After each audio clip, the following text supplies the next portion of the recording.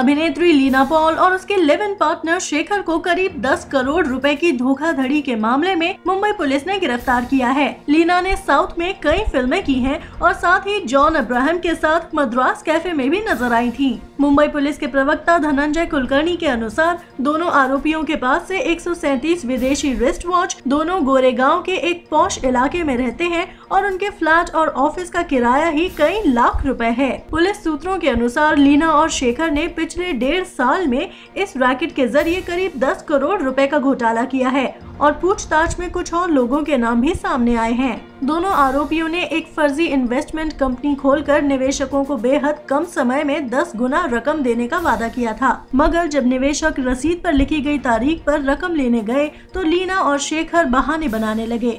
आपको बता दें कि दोनों आरोपी लीना और शेखर ने इससे पहले तमिलनाडु में कैनरा बैंक के साथ करीब 19 करोड़ रूपए की धोखाधड़ी की थी। और उसी साल शेखर ने खुद को एक आईएसएस अधिकारी बताकर एक व्यक्ति एक प्रोजेक्ट में छिहत्तर लाख रुपए निवेश करवा लिए थे और लीना ने उस दौरान शेखर की पत्नी का किरदार अदा किया था।